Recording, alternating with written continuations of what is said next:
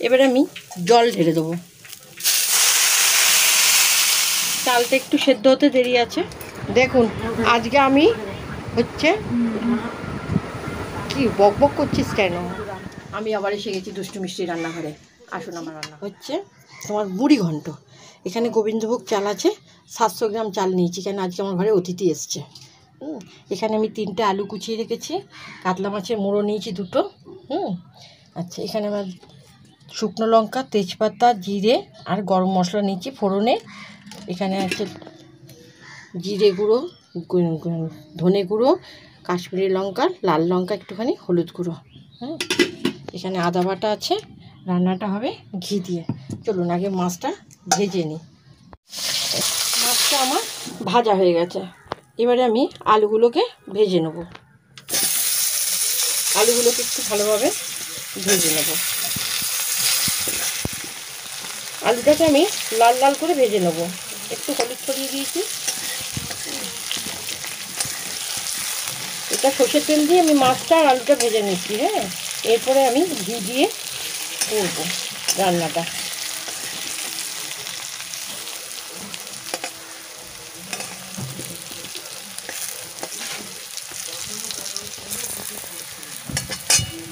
আলু ভাজাগুলো আমার হয়ে গেছে। দেখেছেন? লাল লাল করে ভেজে নিয়েছি, এবার আমি তুলে নেব আলু ভাজাগুলো।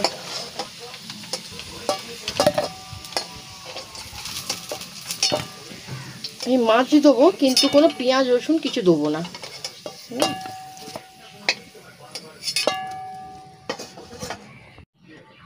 তেলের মধ্যে আমি ঘি দিলাম। একটু বেশি পরিমাণের ঘি দিতে হবে।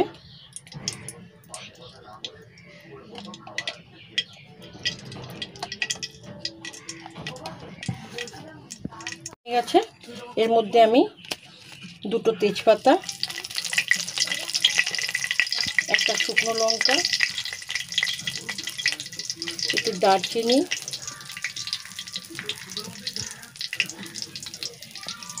জিরে,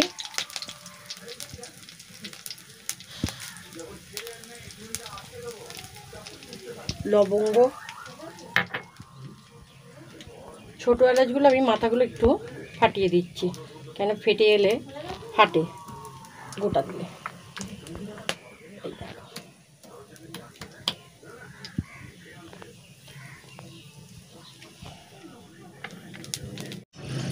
ঘিয়ের মধ্যে আমি হলুদ, জিরে গুঁড়ো, ধনে গুঁড়ো, শুকনো লঙ্কার গুঁড়ো সব আমি একসঙ্গে দিয়ে দেবো। দেবো।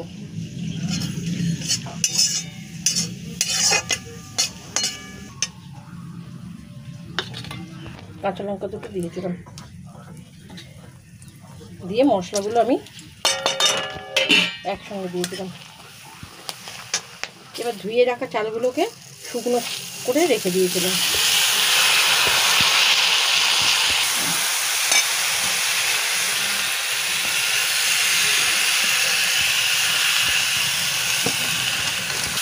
মশলাগুলোকে আমি একসঙ্গে সব দিয়ে দিয়েছি। দিয়ে এর মধ্যে আমি একটু আদা বাটা, পরিমাণ মতো একটু আদা বাটা দিলাম, দিয়ে সব কিছু দিয়ে ভালো করে একটু কষবো।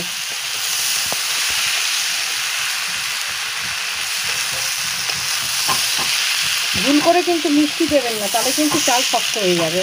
এখন একদম মিষ্টি দেবেন না, ভালো করে এটাকে নাড়াচাড়া করব। ভালো করে ভেজে নেব।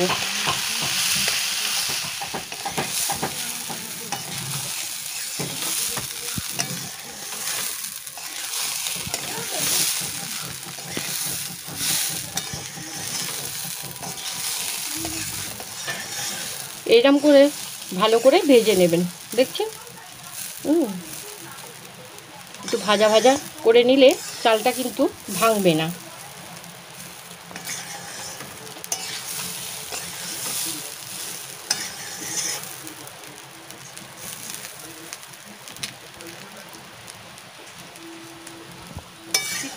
এটা যদি আপনারা শীতকালে বানান, এর মধ্যে মটরশুঁটি দিতে পারেন হ্যাঁ?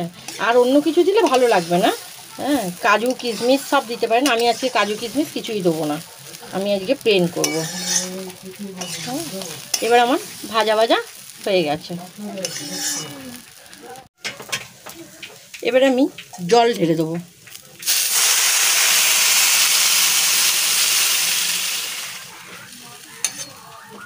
আমি কোনো কাপ মেপে করিনি হ্যাঁ।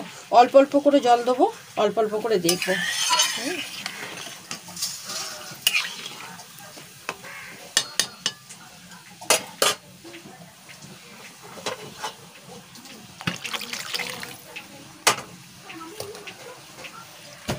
ভাজা আলুগুলো এবার আমি দিয়ে দেবো।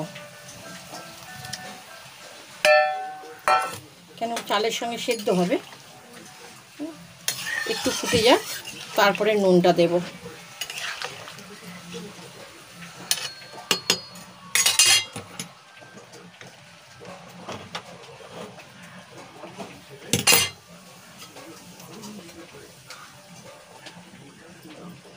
একবার খুলে দেখি জলটা কতটা শুকিয়েছে। জলটা শুকিয়ে গেছে। তাহলে আর একটু জল দেবো। জল দিয়ে দিই।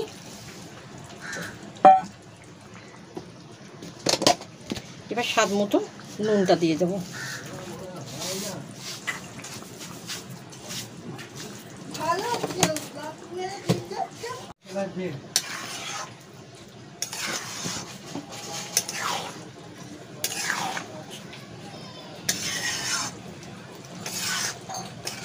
আর একটু জল দেবো। কেন আলুটাও তো সেদ্ধ হবে?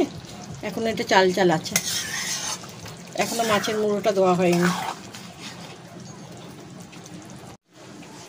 চালটা একটু সেদ্ধ হতে দেরি আছে। হ্যাঁ দেখেছেন? এখনও আলুটা সেদ্ধ হবে। আমি এর ওপরে আস্তে আস্তে মুড়োগুলো দিয়ে দেবো।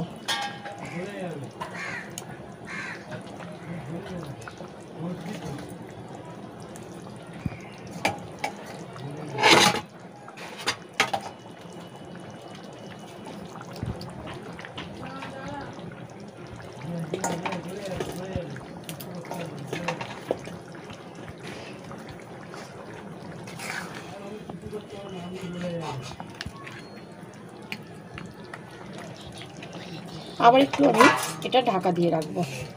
ততক্ষণ মাছের এটা মানে স্মেলটা ভেতরে চলে যায়, এটাকে আবার আমি একটু ঢাকা দিয়ে রাখব। ঢাকাটা আমি খুলে দিয়েছি, হুম, খুলে এবার দেখুন আমার কেমন রাইসটা একদম ঝরঝরে হয়ে থাকবে। এবার আমি এর মধ্যে দেবো চিনি। আপনারা যেমন স্বাদ চিনি খাবেন, তেমন দেবেন হ্যাঁ? একটু মিষ্টি মিষ্টিও ভালো লাগে।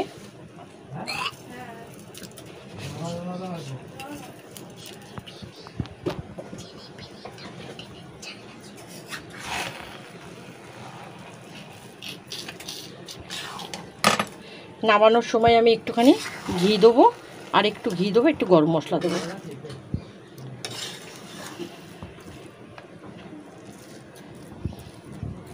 মাছগুলো একটুখানি ভেঙে ভেঙে দেবেন হ্যাঁ তাতে গন্ধটা ভালো আসবে। আবার নামানোর সময় একটু ঘি দিয়ে দিলাম আমি। এই রান্নাটা ঘি দিয়ে করলে খুব ভালো, খুব টেস্ট হবে। আপনারা বাড়িতে কর, বানাবেন, বানিয়ে করে খাবেন, খেয়ে আমাকে বলবেন কেমন হয়েছে কমেন্ট করে জানাবেন। আর লাইক শেয়ার কমেন্ট করতে ভুলবেন না। যদি আমার রেসিপিটা আপনাদের ভালো লাগে, পুরোটা দেখবেন। যদি ভালো লাগে, তাহলে কিন্তু একটা কমেন্ট করে জানাবেন। এই যে গরম মশলা দিয়ে দিলাম।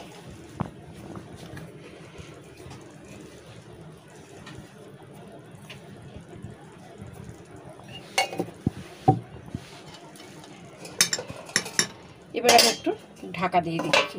দিয়ে গ্যাসটা আমি নিভিয়ে দিলাম।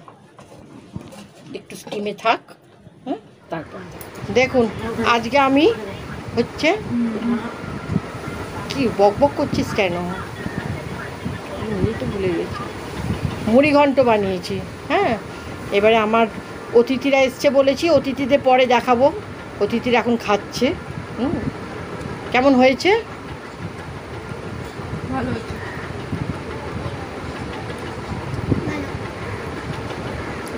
কেমন হয়েছে? হ্যাঁ আর যে রোজ খায় সে বলুক ওর কথা বাদ দিই। খুবই গরম এখন। হ্যাঁ। গরম তো হবেই। দেখেই টেস্টি লাগছে। হ্যাঁ। ভালো খুব সুন্দর হয়েছে সুন্দর হয়েছে? হয়েছে। হুম? টেস্টি হয়েছে। আপনার প্লিজ বাড়িতে বানাবেন বানিয়ে খাবেন হ্যাঁ? খেয়ে আমাকে কমেন্ট করে জানাবেন কেমন হয়েছে হ্যাঁ? আর পুরো ভিডিওটা দেখবেন লাইক শেয়ার কমেন্ট করবেন। আর যদি নতুন নতুন রেসিপি পেতে চান সাবস্ক্রাইবার করে রাখবেন। নমস্কার।